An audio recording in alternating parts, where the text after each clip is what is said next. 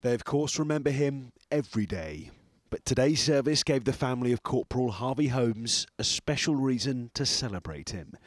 It's nearly five years since he was killed by an improvised explosive device while serving in Afghanistan.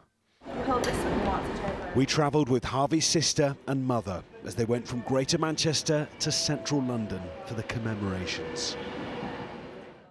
Before they left, they told me of that knock at the door when they learned the horrendous news. I just felt completely numb. It's one of the worst feelings that you can ever experience, losing a child anyway. Um, but I wasn't expecting to lose him. I thought he was invincible. I thought he was Superman. He was fighting for his king and country, although it's the Queen. Um, and he would, he would be walking home, he'd be coming home.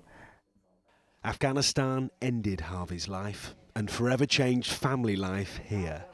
So with the end of the UK's military campaign there now properly marked, how does it feel for them? part of me feels that if we say goodbye to Afghanistan, I'm also saying goodbye to Harvey, part of me. But I think the nice side is that I don't want it to be this war that's drag, you know, drags on for years and years and years, and people never seem to get any closure, and we don't move on, and there will be other conflicts and, and other things that our armed forces will have to deal with in the future. So I think it's a little bit bittersweet. Just after today's service of poignancy and pageantry, Beverly and Elizabeth told us they found it uplifting. I thought it was beautiful, actually. We were determined not to cry because it's not a repetitive funeral.